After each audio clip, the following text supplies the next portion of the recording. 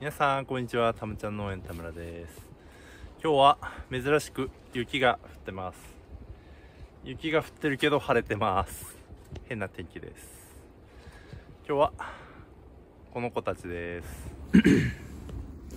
はい。えー、この子たちはミニトマトちゃんたちですね。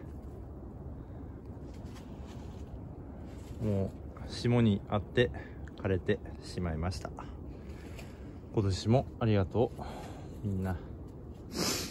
えー、結論から言うとですね、えー、全然取れませんでした、えー、このハウス 2R あって180本植わってます。けども、えー、取れた収量は、えー、50キロちょっとかな。60キロ。もう100キロもいかないと。一旦部あたりに直すと、えー、60キロだとしたら5で300キロですね。えー、この庄内地域での、えー、ハウス栽培ミニトマトの、えー、まあ、標準収量っていうのが 10R あたり2、3トンって言われてます。なんでその2あ10分の1しかいきませんでした。まあこれは一重に本当に私のね、えー、力不足というところだと思います。が、えー、とですね、えー、まあ、種取りをして、えー、次世代につないでですね、この暑い夏の環境にも慣れていくんじゃないかと、種取りをしたらね。思ったんですが、えー、なんか全然種入ってなくてですね、ちょっと種取りの時期が遅れたっていうのもあるかもしれないんですけど、ちょっと種取りしたんですけど、10粒ぐらいしか種取れてなくて、ちゃこちゃんね。ちょっとまた来年、あ、今年か。また今年も種買わなきゃいけないかなっていう感じです。うん。ちょっとこの垂直仕立て栽培も、ちょっとうまくいってないですね、私自身もね。ただ、あのー、自然栽培レジェンドの今橋さんは、あの、これで大成功を収められてるんで、えー、私の何かが違うんでしょうね。自家採集歴が足りないのか、ま、はたまたこの砂地で水はけが良すぎるのがネックなのか、ちょっとわからないですけども、えー、諦めずにまた今年も挑戦したいと思います。で、えー、そのためには、まず、ここ片付けねば、えー、片付けなきゃいけないですね。ということで、えー、今日は片付けをやっていきたいと思います。はい。じゃあ、ミニトマトの片付けやっていきます。でですね、これから紹介するやり方、他の人ないかもしんないなもしかしたら。あの、驚くほど簡単です。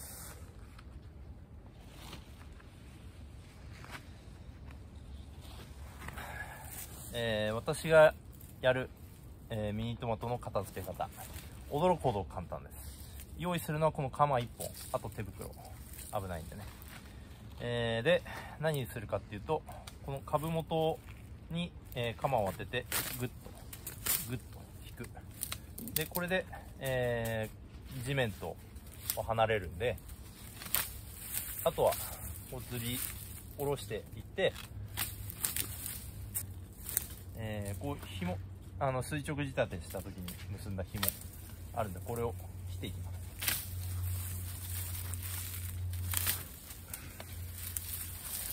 こうグッと引くと、えー、簡単に紐切れますんで。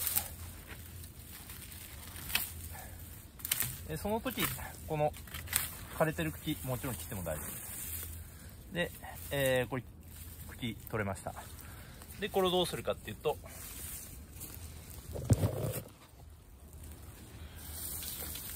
これを通路に敷きます。終了。どうです簡単でしょう。で、えー、ここに敷いただけですね。でこれを、えー、ずっとやっていくと。でこの通路を見てもらうとえー、まあ、雑草も生えて、その雑草の枯れ草、この、えー、飯芝が落ちてたりもするんですけど、この黒いのは、これ去年の、違う、一昨年のトマトの茎ですね。なんですけど、こう、通路なんで、こう行き来するじゃないですか。で、踏んで繊維が壊れるんで、結構ボロボロになってます。ボロボロになってます。で、えー、こう敷いとけば、えー、勝手に分解していくんで、えー、楽ですね。これで大丈夫です。あの、一般的な、あのー、まあ、観光栽培では、まずこの支柱抜いて、で、茎を、これ切るんじゃなくて引っこ抜いて、これ、これがあると、トラクターで高温できないですね。肥料撒いたり、あの、足に引っかかるんで。で、その引っこ抜いた茎は、まあ、病気とかを、あのー、なんだ、持ち越す？翌年に持ち越すんで、えー、外に出す。で、それを積み重ねるか、焼却するかしますね。普通であれば。が、あのー、私の場合はそれをしません。なぜならば、えー、肥料をまく必要もないし、えー、耕しもしないし、えー、次何するかって言ったら植えることなんですね。なんで、支柱も差しっぱなしでいいと。こんな楽なことあります？普通の自然栽培とか有機栽培の人でも、えー、持ち出しが多いんじゃないですかね。補助外に、えー、残差を持ち出すとか。が多いと思うんですけど、私はしません。その必要を感じないからです。で、えー、さっきも言った通り、こう今はちょっとかさばってますけど、これ何回も何回もこう上を歩くと、えー、どんどんあの砕けていって分解されやすくなっていきます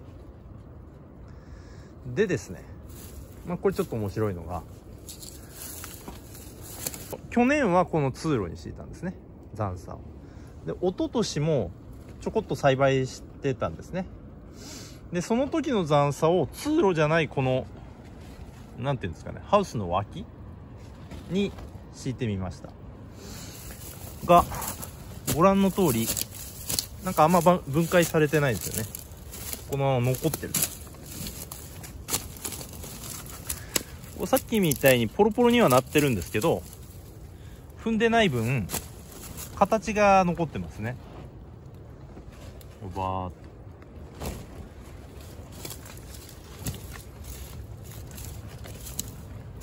こういう風に。なんでここがよく通る通路であればここでもいいんですけどえー、これだと分解が遅いですねなんで、えー、こう処理した残差は、えー、通路に敷くことをお勧めします。で引っこ抜いてもいいんですけど引っこ抜くと、まあ、支柱も抜けちゃったりするし、えー、土もボッとあのー、崩れちゃうんで、えー、私は、えー、釜で切ってます。でこれをすることによるメリットもあってですねまあ楽っていう以外にもこう根っこが昨年伸びた根っこがありますよねで根っこが土の中に残ってることのメリットってあのこう根っこが伸びた分その根っこって、えー、ずっとそこにあるわけじゃなくて、上が枯れたってことはもう根っこも、あの、枯れていくんで、それが分解されていきます、微生物によって。で、その根っこが分解されて空洞ができますね。で、その空洞が水と空気の通り道になると。にもなるので、私はね、なるべく根っこを残すようにしてます。あの、釜で切れないオクラとか、は、あの、抜くことありますけど、えー、釜で切れるものはなるべく切るようにしてます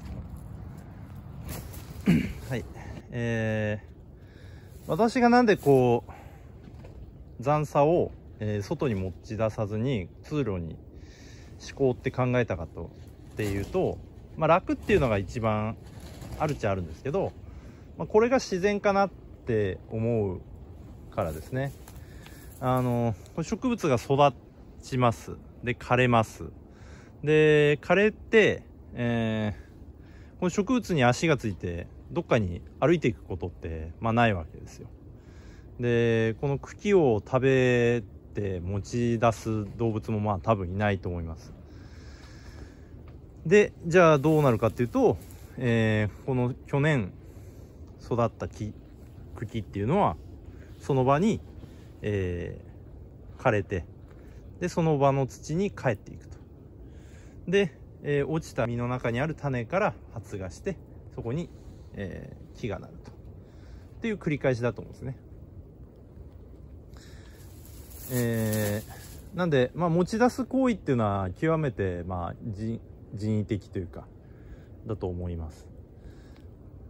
まあ、かといって人為的なものが全て悪いって言ってるわけではなくて、まあ、そんなこと言ったらこのビニール ビニールハウスなんてもうより人工的なもんだしこう冠水チューブもこうビニールマルチも極めて人工的な、あの、ものなんで、えー、その人為的なものが全部が全部悪いって言ってるんじゃなくて、えー、この場のに帰っていくのが自然だと思うからあの私はこういう風にしてます。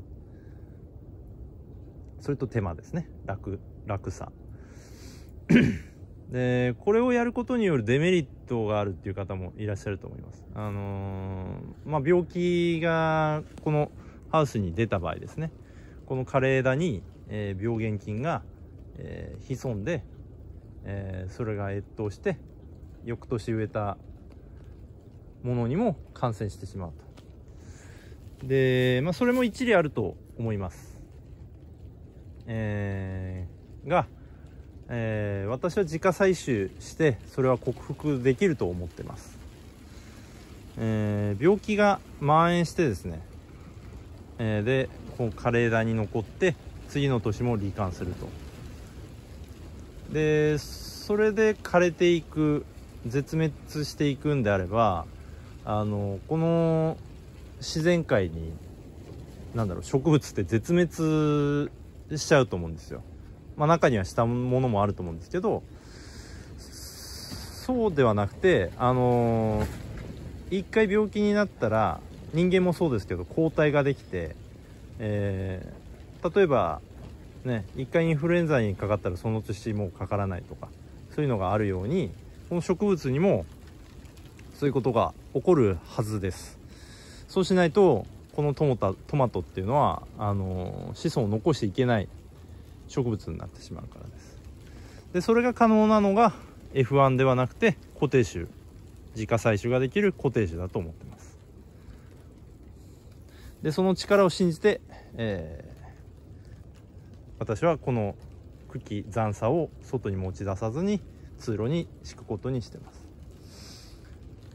ただあのその肝心の自家採取が全然できなかったんで、え、ちょっとね来や今年か。今年もちょっと苦戦する可能性が大きいんですけど、えー、ねこの土さんのに残った肥料が悪さしてる、えー、部分もあると思うんでその点ではあのー、年々より良くなってってるとは思うんでいつか良くなることを信じて、えー、ここでは、え、ミニトマトハウスミニトマト栽培を続けていきたいと思います。ちょっと今度は全体を映してやってみます。まず紐を切っていきます。この時手手を釜で引っかいたりするんで必ず手袋しましょう。で枯れた茎を切ってしまってももちろん大丈夫です。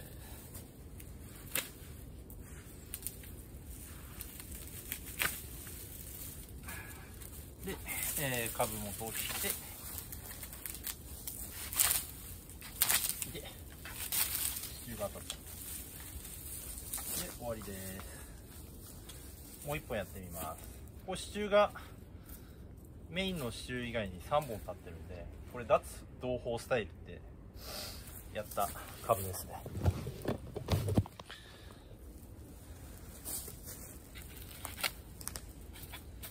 同胞スタイル、えー、禁じて枝を曲げるをやった。これですね、まあ、これをやったから特段良くなったっていうのは目に見えてはないんですけど悪くもなってない。なんでまあ私は間違ってないと思いますね。詳しくはこちらの動画見てみてく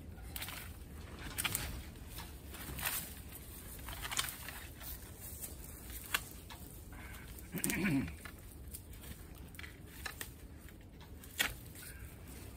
い。で最後株元を切る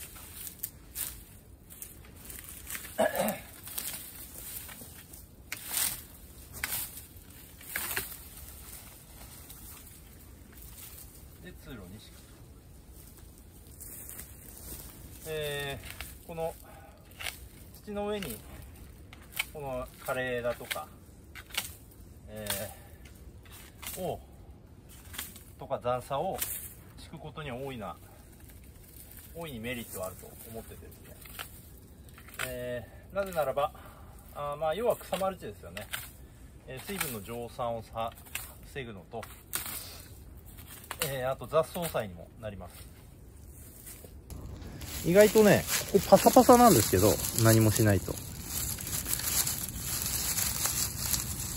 ちょっと掘っただけでちょっと湿った土になります。土というか砂ですけどね。乾いてるとこういう色ですけどこう通路ちょっと掘っただけでちょっと湿った土になってるんであの去年これをするまでは本当にパッサパサだったんですよねこの上が。この通路の上が。なんですけどあのこの草マルチをだいぶ厚めにすることによって、えー、この通路は冠水してないんですけど、えー、湿り気を保ってます。で植物ってこう植えたところだけに根っこ生えるわけじゃないじゃないですか。こうここに植えたら根っこって当然こっちに来ますよね。でもここがパッサパサでもう本当に水も何もないような状態だったら、まあ、ここのにここまで来た根っこって傷んでってしまう可能性があると思うんですね。なんで意外とこの畝も大事なんですけどこの通路のあの冠水というか保湿も私は大事だと思ってます。ので、えー、この残砂の処理方法は私はおすすめですね。楽っていうのももちろんあるけどそういうメリットもあると思います。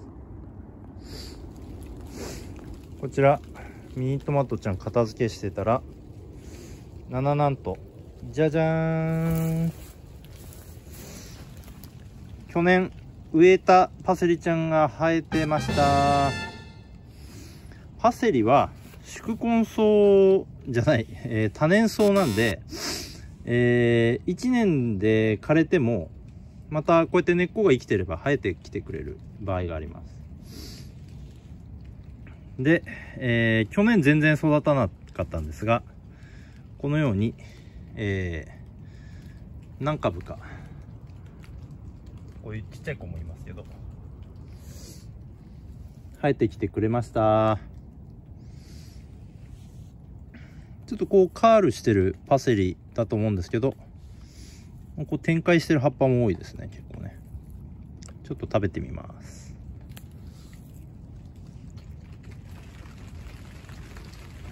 うん。うん。パセリらしい風味の後に甘みを感じます。あんまりパセリ食べて甘いって感じたことないですけど。この冬の寒さに当たったからか。美味しい。うん。ちょっと今後この子もこの子たちもこの先どうなるか様子見てみたいと思います。まあ多分暖かくなってくると遠立ちしてくる気がしますけどね。まあそしたらそしたらそれで種取りしようと思います。はい。えー、終わりました。えー、この 2R の畑で、えー、2時間ぐらいですね。株の処理。あと処理にかかった時間は、えー、全部抜いたのは通路に固めてます。で、えー、まあ、これ定食する時とか。まあ、なんか作業する時に、えー、踏んでいくたびに、えー、これがだんだん砕けていくと思います。はい。でね、まあ、やりながらちょっと気づいたんですけどすごい大事なことを忘れてて。えー、私の尊敬するレジェンド今橋さんのことをちょっと思い出してました。思い出したことがですね、えー、感謝をするってことでした。まあもうこの枯れたミニトマトさんはねもう枯れてしまってますけど、えー、まあ、その子たちに感謝の気持ちを込めながら、まあ、株を切ったりはず、えー、支柱から外したりするっていうのを忘れてましたねえー、大事なことだと思うんで、えー、皆さんはやりながらそこも気をつけながらやってみるといいと思います。ちょっとねあのー、ほこりほこりじゃないけど何て言うんだろうな。なんか舞うんですよねこの処理してると。なんで敏感な方はマスクした方がいいかもしれません。ちょっと私も鼻水が出てきました。